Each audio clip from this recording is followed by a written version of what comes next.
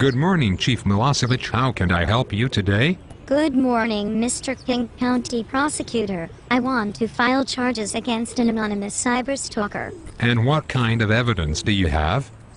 There are several videos on the internet making fun of my department and personnel in it. And what kind of videos are these? They are cartoons making fun of us. Cartoons? Did they threaten any individuals or threaten your department? No. We are butthurt. Did it mention any names or your department? Oh, we are just really, really butthurt. Do you smoke crack? What? Well, you either smoked crack, or are Renton's biggest imbecile to think you could possibly win this. Never mind the Constitution, and case law backing it up. Seriously, Chief, you're an idiot.